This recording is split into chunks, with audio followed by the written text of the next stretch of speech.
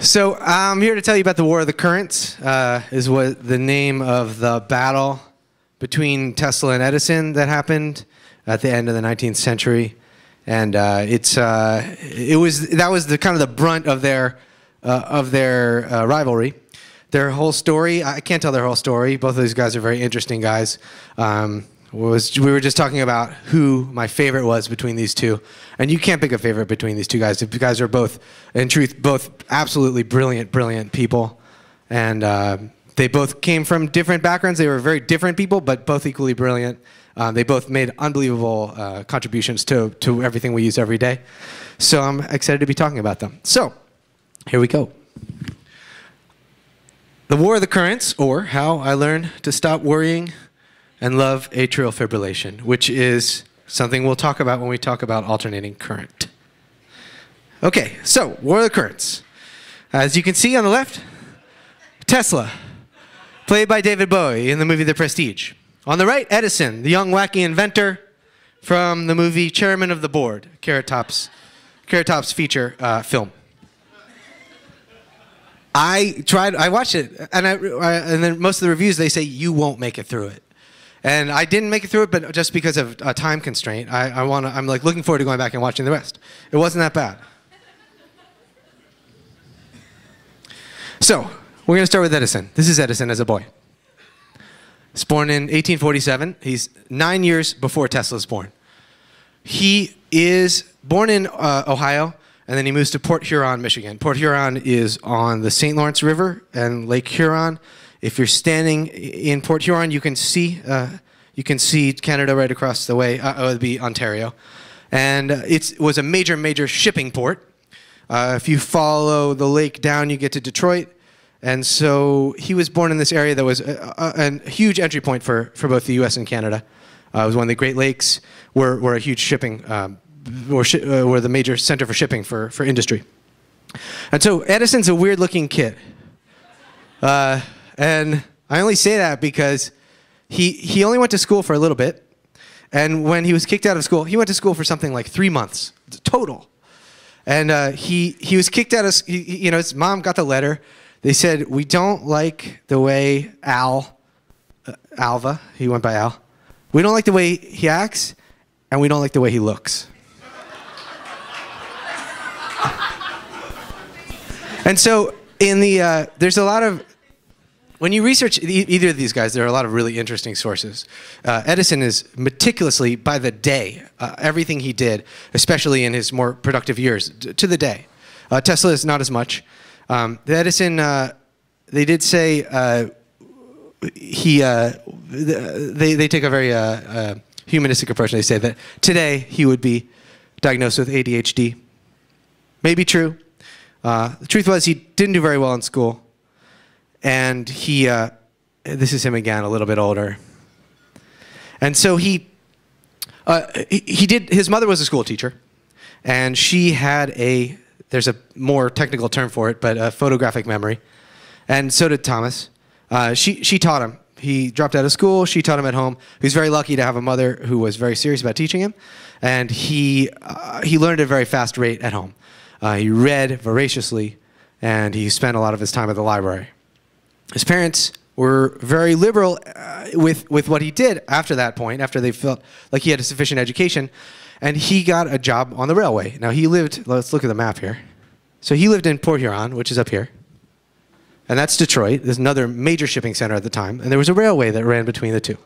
So he got a job on the railway uh, at 12 or something like that. And he's selling candy on the railway. And so he realizes then he said the rail stations, the rail stations have a link to the Associated Press. And so he gets news before just about anybody. And he puts together a little newspaper and he starts selling the newspaper on the train. Uh, and this starts to become a lucrative business. So lucrative that he realizes, hey, I'm going to all these different towns that are specialized in whatever they specialize. This place has great cantaloupes because this is where the ships come in from wherever cantaloupes come from. And this place has great cherries because it gets the boats from wherever cherries come from. And so he starts picking up produce at each of these uh, places and he hires other little kids to stand at, say, the, uh, oh God, I can't read that, Lunac station. And he's got kids waiting there. He drops the produce off, and they're, they're hawking the produce at, each, at the stand at each stop. So he's running this produce distribution business for free because he's getting on the train, selling his paper, selling his candy, and, and then selling, uh, selling fruit at all these places. So he starts very, very early. This is he's 13 or 14 when he's doing this. Uh, so here he's on the train. He's got his businesses. He's got his candy. He's, I had a lot of fun with PowerPoint on this one. He's got papers that he's selling. And now he's doing this and he's coming home every day. He's probably running the, you know, it's probably two hours down, two hours back. He's also very into uh, chemistry. He does a lot of reading about chemistry and he starts to set up a little lab in his basement.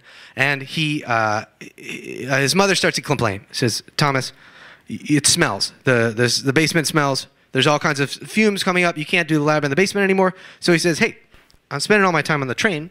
We'll set up a little, a little lab on the back of the train. No one's going to bother me. So one day he's got a stick of phosphorus, which is uh, very flammable when it's exposed to oxygen. And phosphorus is actually, I just learned this, uh, Molotov cocktails, you think of having a rag out of the top uh, with gasoline inside, and you light the rag. Uh, I guess the, the smarter way of doing it would be to put the phosphorus in and seal it. Then when it breaks, the phosphorus is exposed to the oxygen and everything burns. So the same thing kind of happens. He, he goes over a bump, and the phosphorus falls on the floor, breaks open, exposed to the air, and. Oh, animated GIF. So, burns up the train. So they say, Thomas, no more experimenting. You got to go back to just the papers. Okay, so here we go. He's maybe 14, 15 years old at this point. He's peddling his papers. He's looking out the window and he sees this little kid standing on the train tracks, young Jimmy McKenzie.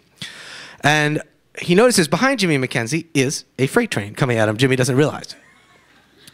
Edison runs out of the train, saves Jimmy McKenzie. Turns out to be a major turning point in Edison's life because Jimmy McKenzie's dad is a station manager. He's so thankful. He says, Edison, I'm going to teach you telegraphy. Uh, telegraphy, tele telegraphy, uh, in addition to being hard to pronounce, is is the like JavaScript of the time. It's like really, if you can if you can do this, you can do a lot of different things. You're kind of on the cutting edge. And so there he goes. He starts to learn how to use a telegraph key. Uh, and he really, at this point, gains total financial independence, even if he, if he hadn't done so already with the newspapers. So Edison is now 16, 15, uh, and he learns how to be a telegraph operator. He can now not only travel from station to station and work as a telegraph operator, they're very in need, just as JavaScript writers are now. Uh, he can go wherever he wants. So he becomes, and the term is amazing, a tramp operator. A tramp operator is someone who can travel from town to town, and when they get to the town, they can say, "You guys need anything telegraphed?" And they say, "Western Union says, why, yes, we do." And so he, uh, he, he kind of between 16 and 20, he does what most people probably would love to do when they're 16 to 20: travel around, get great paying work in a bunch of different towns. Uh, he does it for a while until he ends up sort of running himself ragged uh, and returns back home. He comes back home to Port Huron, finds that his parents are sick, his mother's going, is starting to, to lose her mind, and uh, his dad has sort of is losing his mind too. So he realizes he's not only he's not no longer financially financially independent. His parents actually need to be supported at this point. He's 20, and so he says, "All right, enough of Port Huron. I'm going to move to Boston.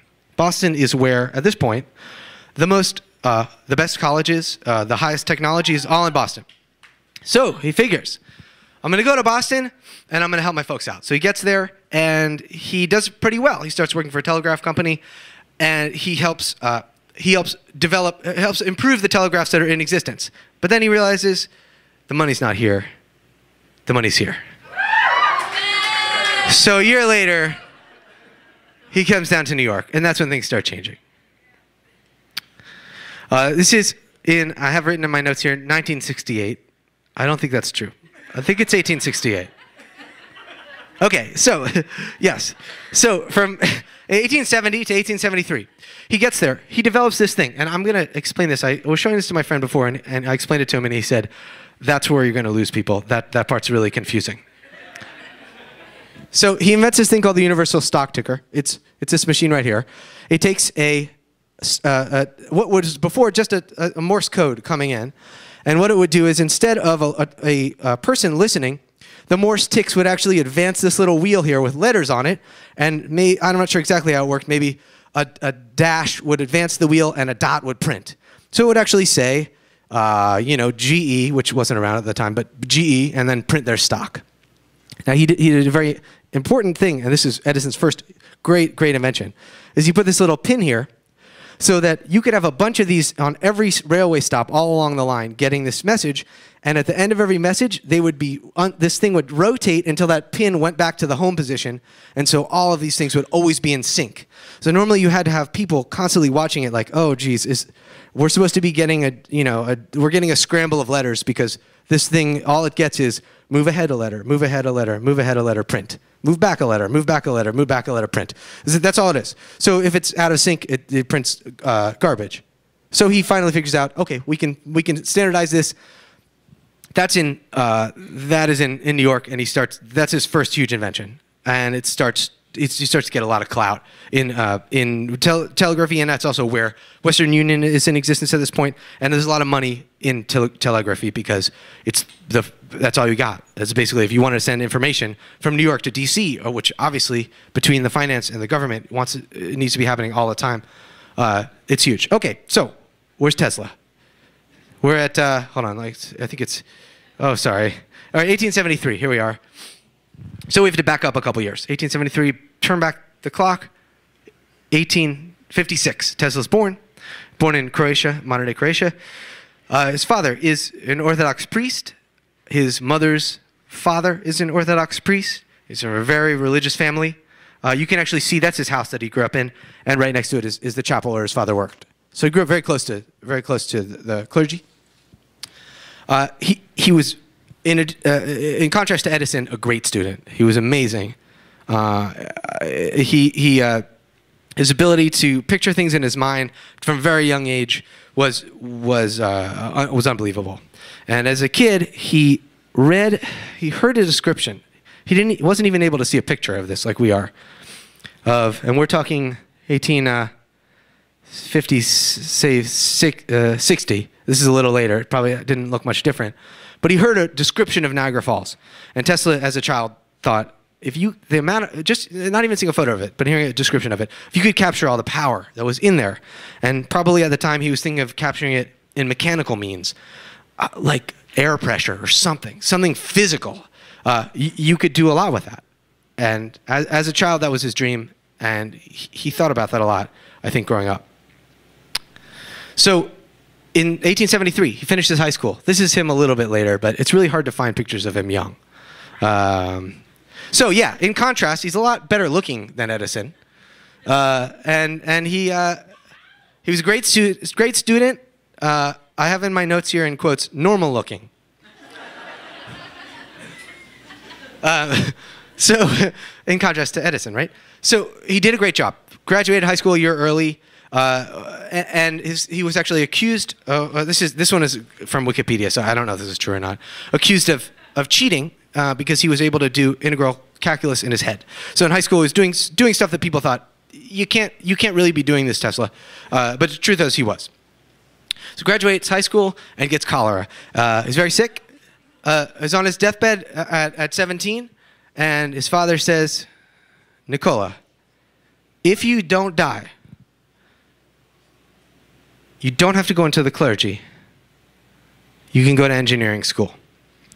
And so, miraculously, Tesla says, okay, I, I can live for that. So the option of, of leaving, uh, leaving Croatia going to engineering school and actually being able to to to realize some of these dreams that he was having uh, helped him helped him help him uh, survive. Okay, so he goes uh, goes and stretches. Uh, sorry, gets gets drafted, avoids the draft, goes out and lives in the woods. I'm I'm gonna have to rush now because I'm getting the time thing. Um, he eventually makes it to Budapest, and this is where he finds this same tool to telegraph. So both of these guys, now, here's a parallel. They both discover telegraphy and they say, wow, this is where I can shine. This is Tesla immediately gets to the office and he says, you're doing it this way. It starts to make, uh, starts to make additions, starts to make corrections to, to the whole system that they're using. So there we are, 1881. His bosses say, Tesla, you're great. Go to Paris. We can get you a job with the Continental Edison Company. Wait a minute. So this is 1881 Last time we saw Tesla, sorry, Edison was 1873. What happened in these eight years so that Edison went from just being a kid learning how to use telegraph, and now he is now he's got a, play, a company called the Continental Edison Company. Well, what did he do? He's uh, sorry. Here's there's there's what he was. First, his telegraph system is now running from New York all the way to Charleston, South Carolina. He says, "Wait a minute, I have an idea since right now telegraphs can only work in half duplex, meaning we can send it one way and then wait, and then send it the other way, let's make it so it can work in full duplex. And he figures we just use two different voltages, that we can tell the difference between two different voltages. Now we've got two different signals going simultaneously both directions. Then he says, hey, let's make it quadruplex. We can do it not only two different voltages, but two different polarities. So he takes Western Union, who's sending one message at a time, waiting for it to end, and now making it so four messages can be sent simultaneously. So basically, he takes our bandwidth and multiplies by four. And so Western Union is saying, holy shit, that's awesome. basically, our entire, our entire industry just quadrupled without any change to any of our equipment. So that's, that's uh, Edison, that's gigantic. That's his first major, major patent where he makes some dough. Then he invents the electric pencil. It's like a carbon copy device. I, I don't know. This one is really scary, actually. That's a battery in the back. Uh, it looks like you just put paper down and, and uh, it kind of perforates through the paper. Okay, I'm not going to spend any time on that one. He's got this one. Edison starts coming up with this idea called the uh, uh etheric effect, uh, which eventually is, is radio. So uh, everyone says, oh, Tesla was working on radio before Marconi was. Well, Edison was too. All these guys are working on very similar things. Uh, this is it, though. This is what Edison does, and he says this is this is the, his biggest moneymaker. This is the thing that uh, that is his favorite invention that he ever makes, um, and it's uh, this is the uh, the tinfoil phonograph. And so late one night, in Edison laboratory. Uh, he's got people, and it's, it's, actually he's not the hands that put this together. This is his concept, and he had a bunch of really excellent engineers working on this. And uh, for me, I would I don't want to leave out for me one of the, my favorite moments in, in human history is the moment that all the people making this, uh, trying to develop this phonograph, where they're basically uh, running a needle across tinfoil.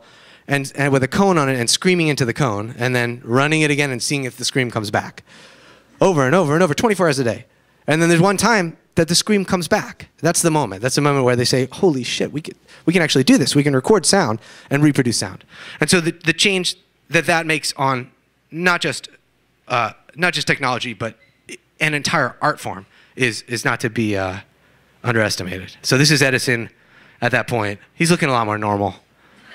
with, his, with his improved phonograph, it's got this awesome flywheel at the end because when you're recording or when you're playing back, there's no capstan motor, like what we call it now. There's nothing to regulate it, so you're really doing it. Um, and they did it 60 RPMs because it was about the same as your heartbeat. Okay. Then also in 1879, he invented this, so whatever. Okay, 1882, Tesla, Tesla is in Budapest. Uh, he's in Budapest and, and he, he suffers a, uh, uh, uh, sort of a nervous breakdown. Uh, he has this vision. He says, we can do this thing, we can do an AC motor. And the AC motor, uh, I have to kind of like brush through the science a little bit. Uh, it, it was incredibly more powerful and incredibly more efficient than a DC motor. Direct current is DC, and that's really great because you can store it. You can put it in batteries. it means that, like on a battery, current always flows from as in our convention, the, the positive terminal of the battery to the negative terminal of the battery, always in one direction. In alternating current, which is what comes out of our wall, it changes direction 60 times a second. It comes out of one of those blades in your uh, wall and into the other, and then it reverses direction, and that happens 60 times a second. That's why fluorescent lights have a hum, and that's why uh, a lot of uh, improperly working stereo equipment has a hum, or guitar amplifiers, things like that. Um, so Tesla has this image draws it for a friend in sand with a stick. Uh, he's working now in the in Paris at the Edison Machine Works. Um, and this is, I thought this is a great image. This is what's going on inside the Machine Works. Rather than having a, a power outlet at each person's desk, they have a a belt going down to their desk, and that's their power outlet. And they probably had a little thing on their desk and a clutch that they can engage or disengage it. So they're using completely mechanical power distribution rather than electrical, which is what we use now. I thought that was a really um, great idea. So he, he gets there. While he's there in Paris, Tesla introduces this. He says, "This is it. This is the AC uh, power, AC motor, AC generator. If you put power into it, you get movement out. If you put movement into it, you get power out. Both are alternating current. And I'm going to talk about what that is in a second. Tesla goes to America. This is the ship he rode on, the city of Richmond, and he meets Edison. Uh, he comes. He's working for the Edison company in Paris, and they say, uh, "Tesla, you're good. I mean, you're really good.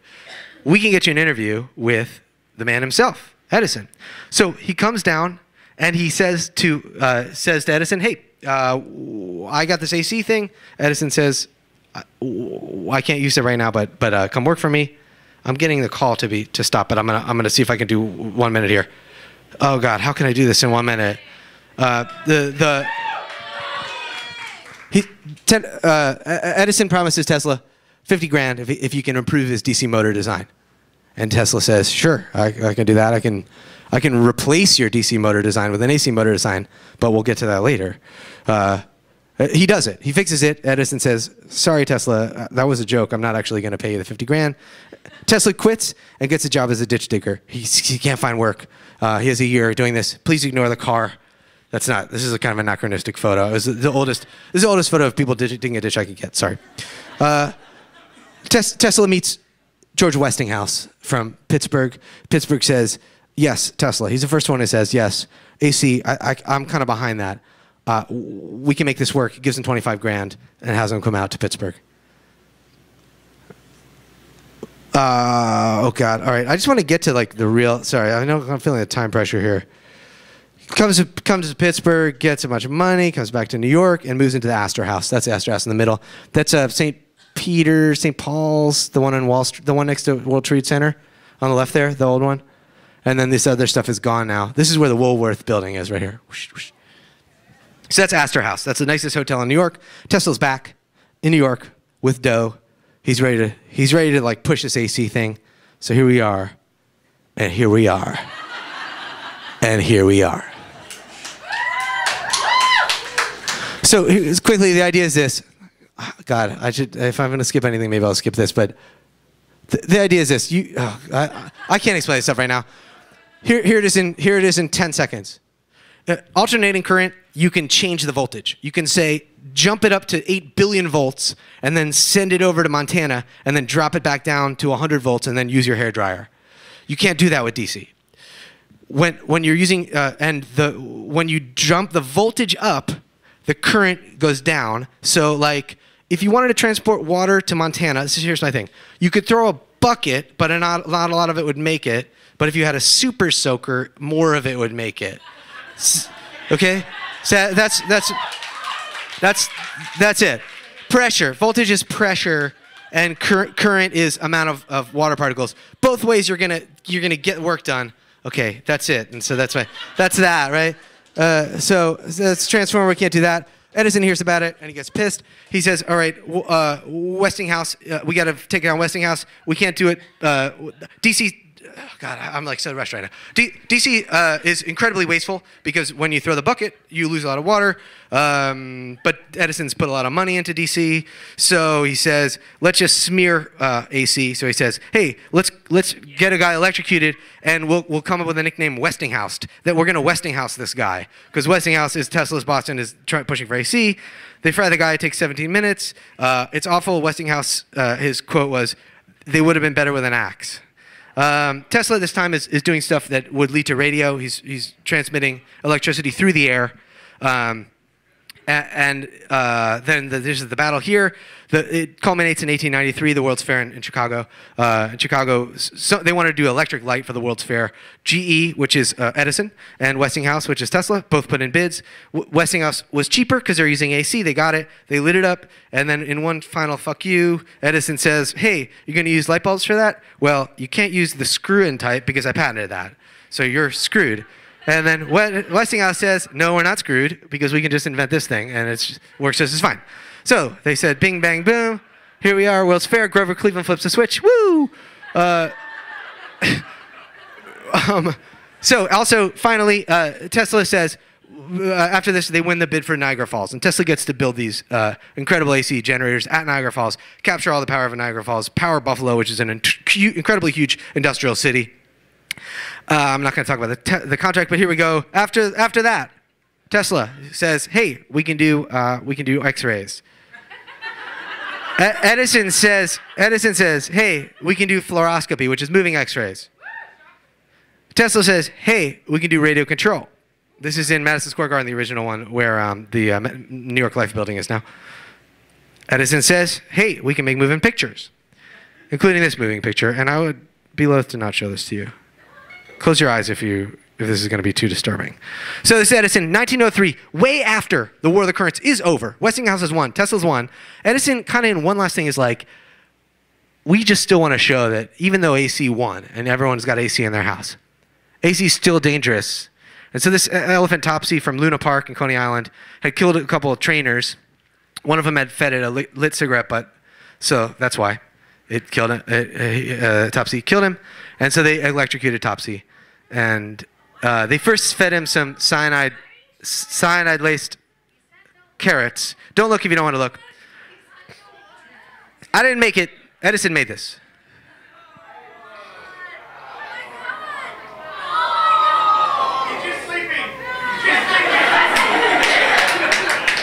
He's he's sleeping and, and he's really high. See? Okay. So so one last thing. So that's Edison after losing the war of the currents. Uh, still still is is like is bitter about it and wants to get back at Tesla. There's one last thing he does though. Tesla, he's got. There, there's one building in New York that still has direct current up until the 60s, and it's this hotel, the New Yorker Hotel, right near Madison Square Garden, beautiful hotel. They've got a they have a, uh, a DC generator in the basement, and it run it's DC and it's still DC up until the 1960s. The New Yorker finally converts to AC after Tesla dies. Tesla dies because when he's living in the New Yorker. Tesla spends the last 20 years in his life. Maybe Edison and his son kept it DC just to put a, just to twist that knife. Tesla say, you know, you may have won, buddy, but uh, we got it. And who who ran the uh, electricity for this building? A little company called Con Edison.